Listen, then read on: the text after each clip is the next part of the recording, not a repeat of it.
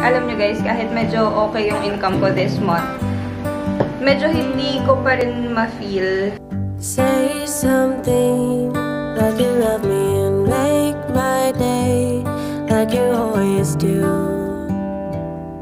Like you always do. So, ito yung binili ko guys. Sus, tatlong um, universal ticket siya.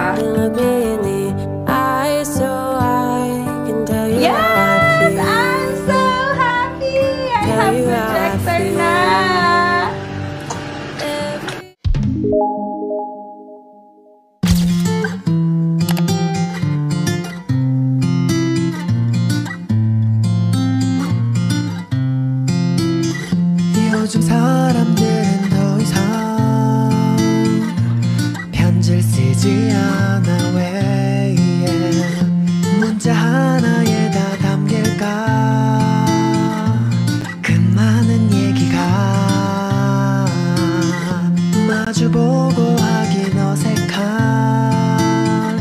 마음 하얀 종이 위에 Good morning, friends! So, habang naghihintay ako mag-start yung aking um, editor, kikwentuhan ko na kayo bago kong eme-eme. So, nag-vlog ako today kasi buong October, siguro mga October 25, huminto na ako sa pag-film. Kasi feeling ko na-drain ako. Parang ang dami kong ginawa ng buong October. And true enough, nakita ko yung schedule ko. Marami nga akong ginawa ng buong October. Pero, marami rin namang bumalik. Kaya it's okay. Pero, yun, kailangan ko lang talaga magpahinga. Kaya ngayon, back to Living Alone Vlogs. So, ako napansin nyo, 3 weeks akong walang upload. So, halos 1 month din yun, ba Nakakahiya naman sa channel ko.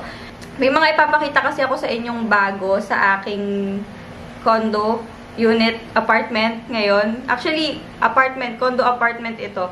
So, ayun, ipapakita ko sa inyo yung mga newly purchased products ko para sa ikagaganda nitong bahay na to. Kasi, medyo marami akong binili and alam nyo guys, kahit medyo okay yung income ko this month, medyo hindi ko pa rin ma-feel. Nagiging transparent ako ah, kasi ano, tawag dito, ang dami ko pang kailangang i-build dito sa bahay na to. Pero, nabili ko naman na siya. Siguro mga dalawa, tatlo na lang yung hindi ko pa nabibili. Pero yun nga, since maraming gastusin, hindi ko siya na-feel. Pero, gets nyo ako, yung ano, yung feeling mo naman okay yung income mo eh. Pero pag nakita mo yung gastos mo, parang swak na swak siya, parang walang matitira sa'yo, ganun. Although may natira pa naman, pero hindi siya yung pang isang buwan na kaya kong mabuhay. Gets mo? Nung una, parang nalulungkot ako na parang, bakit ganun? Parang wala naman natira sa akin. Bakit? Parang hindi ko feel, hindi ko gusto yung nangyayari. Parang walang nangyayari dun sa pera ko na kinita ko this month. Tapos, kinento ko yun kay Martin. Tapos sabi ko, okay lang naman yun, di ba? Okay lang naman. Sabi niya, oo, syempre, nagsisimula ka pa lang naman. Tsaka nag invest ka ng gamit. Tapos na-realize ko, kasi yung camera ko na to, itong ginagamit ko na to, hinaram ko kay mami yung parang portion nito para makabili ako ng paid ng cash doon sa gusto kong bilhan. Kasi kulang yung pera ko. Tapos na-realize ko na last, na last month, October, nakapagbigay ako kay mami ng ano, ng pang fully paid. And nakapagbigay rin ako sa bahay. So, medyo fulfilled yung aking puso. On the next days, makikita nyo guys, yung mga pinagbibili ko. Ang goal ko kasi, ma-full, fully, per, fully furnished muna to bago ako makapag-allow ng bisita dito. Oo, may pumupunta mga family members, pero mga friends, hindi pa ako nakapagpapunta ng friends dito. So, ayun yung pinagkagastusan ko nung buong income ko nung October. Parang ganun pala, no? Pag adulting, no? Hindi mo, hindi mo masyadong mafe-feel yung income mo. Kasi, sobrang daming gastos. Hindi mo na mapapansin na, ayun pala yung kinita ko this month. Kaya pala, ang hirap. So, this is my realization sa aking first month of living alone. Pero, kampante naman ako sa mga next months. Hindi na ganun kalaki yung aking gagastusin kasi nabili ko na yung mga kailangan kong bilhin.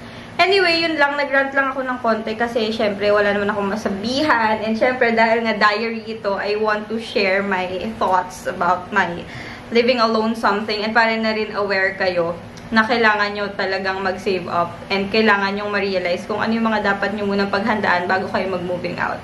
Okay, ayun lang. Samahan niyo ako buong araw kasi mag edit ako today, syempre. And ano pala guys ha, na-realize ko kasi sinubukan ko mag-diet, no rice at all. And na-realize ko na mas tumatawa ako kasi kapag nagno-no rice ako, mas marami yung nakakain ko ng mga snacks. Which, more sugar. Kasi hindi naman ako nagsasnacks ng maalat. And mali, mali din, di ba? Pag maalat, nakaka-bloat. So, na-realize ko, kasi pag nagre-rice ako, sobrang konti lang naman ako mag-rice, pero feeling ko, full na ako. So, na-realize ko na hindi masyadong effective sa akin yung no rice at all ngayon. Kasi malakas ako sa snacks. I believe mag-rice na lang ako para full ako. Tsaka yung protein, 'di ba Ulam, morning. Mas, mabili, mas okay daw yon sabi. Na protein sa umaga na marami. Para kasi matagal daw ma-digest yun. Matagal daw matunaw ng body. So, buong araw parang full ka. So, ayun lang. Na-realize ko lang na magre-rice na lang ako. Tapos, snacks-snacks na lang in between. And sa gabi, no rice talaga.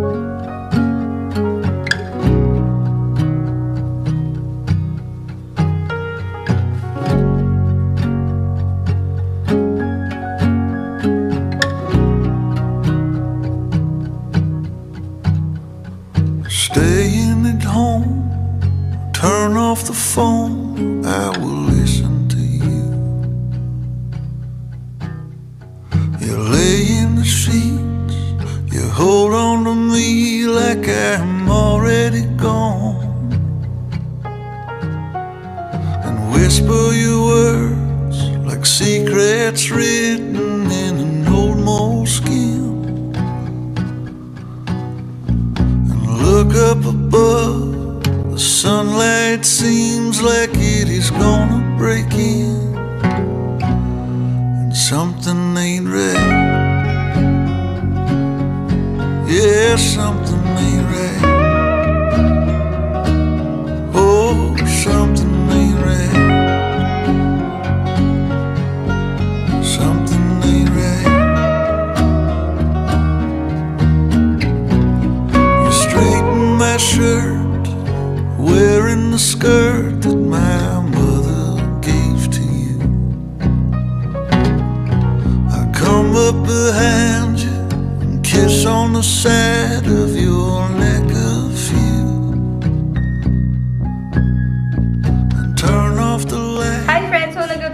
fish fillet. Ayan, yung cream dory. Ah, nakita niyo naman kung paano ko ginawa. Lalagay ko na lang din sa ilalim kung saan ako kumuha ng recipe. And then, gumawa rin ako ng white sauce na garlic para sausawan ito kasi perfect to kapag garlic yung sausawan kasi sa ketchup. So, ayan yung itsura. Kain tayo! Sarap! Mas masarap pag madaming garlic.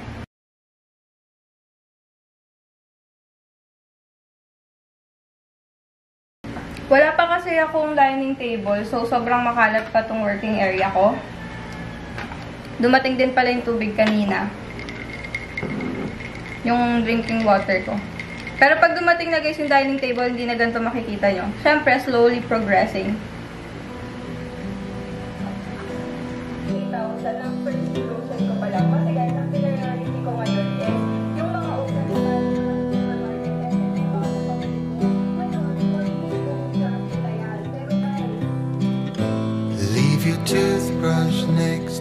kitchen sink just to be kind.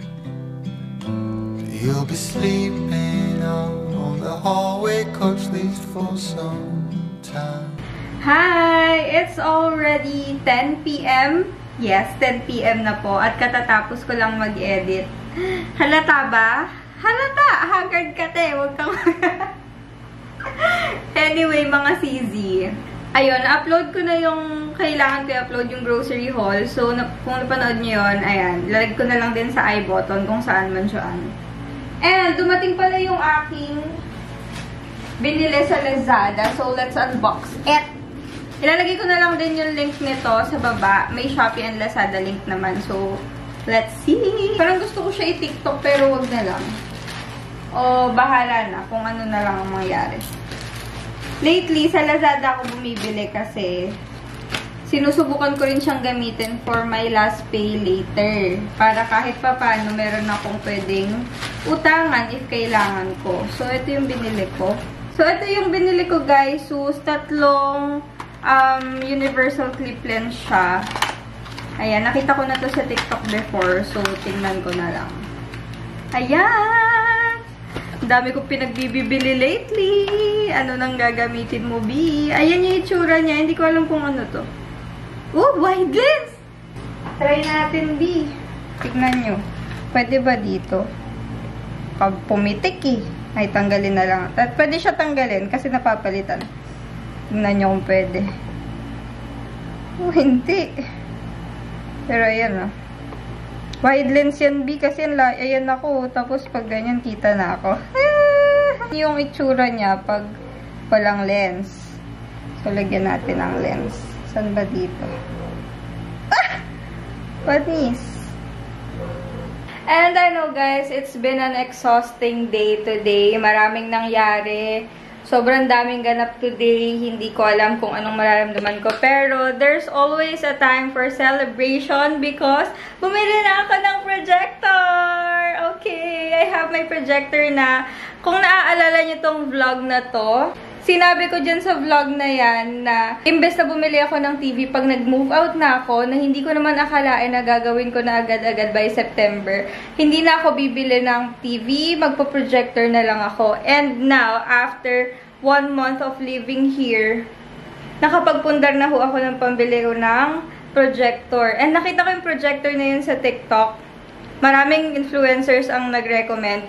So, I gave it a shot kasi saktong-sakto siya handy and sakto siya doon sa budget ko. Actually, medyo mahal nga.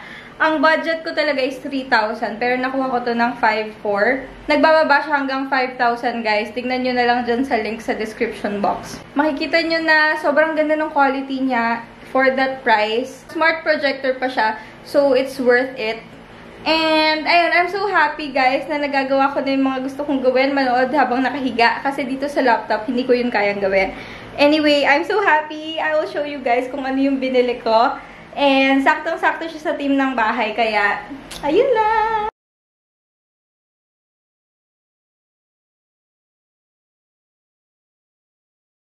So, this is Zmer or ZMR na projector. Ganyan lang siya kaliit. So, ito yung kamay ko. As in, ayan. Isang palad lang siya. Tapos, ganito siya kalaki. Yan. Pangit ng kamay ko, no? Wala na tayo magagawa. Yan na talaga yan. And then, ganito siya sa likod. So, nandito yung speaker. Yung hingahan dito, exhaust. And then, um, saksakan, pwede siyang HDMI. Ito yung pinaka-power on. And USB. Pwede kayo maglagay ng um, USB or hard drive, flash drive para sa inyong mga movies or mga music na gusto nyong i-play dyan. Tapos, ito yung pinaka para malinaw, para malabo. Later, I will uh, share to you guys paano ko siya in-operate. And then, ito is yung power on. Tapos, ganyan yung itsura niya sa harap. And, ayan. Pwede kayo guys bumili ng tripod, pero hindi na ako bumili kasi dami ko ng tripod dito sobra. So, di na ako bumili. So, nung dumating sa akin to, nakabox siyang ganyan. Ayan, M1 Pro na smart projector, guys. Ayan. So, ayan yung itsura niya. May Netflix na siya, may YouTube. Ayan. So, dito muna tayo sa YouTube. Ayan. Tapos, ang lakas ng, ano nito, guys, ng speaker niyan. Sobrang lakas. Ito yung mga pinapanood ko, ayan. Pero, tulad ng sinabi ko sa inyo, guys, kanina, kita niya yan ang labo, di ba? Papa-anuhin natin. Pakita ko sa inyo. So, ayan, ganyan kalabo. Pwede nyo siyang ayusin. Yan. So, malinaw siya, guys. Ang ganda ng kulay. Play natin to para marinig nyo. Attractive plum meets morning dew for the best flavor. Ito lang ang music niya. 16.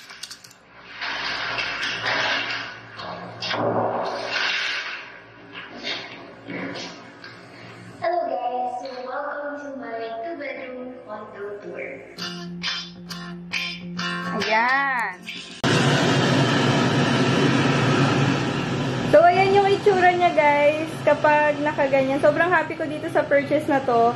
Yes! I'm so happy! I have projector na!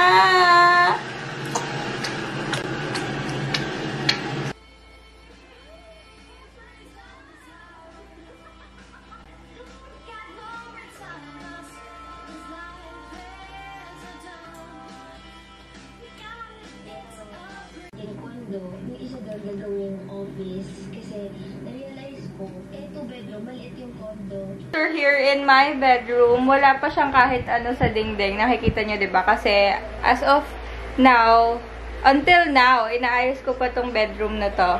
And inuuna ko yun sa labas para makapag, ano na ako, accept na ako ng mga bisita. Tapos eto guys yung itsura, kung gusto niyo makita. Ayan, zoom ko kayo. Ayan. So, pasensya na yung mga kalat na yun. Wala pa kasi silang organizer. Pero, ayan yung itsura pag nakahiga dito. Actually, guys, nung una, mga hindi pa ako sanay. Sobrang hirap na hirap. Ay, sobrang hirap na hirap akong tumingin dito. Parang ang labo-labo ng mata ko. Pero, after a day, kasi nga siguro hindi ako sanay na malaki yung tinitignan ko. Pero, after a day, sanay na ulit yung eyes ko na manood dito sa projector. Eh, This is the second day na, actually, nitong projector na to. Kasi, um, kahapon, yung first day niya. Ang bongga mga sisi. Sobrang saya ko lang talaga. Excited na ako ipakita sa inyo yung nasa isip ko na gawin dito sa bahay na to. And hopefully magawa ko siya hanggang December para maipakita ko na sa inyo, makapag-house tour na tayo, and makapag-housewarming na tayo. Every day something new, if I spend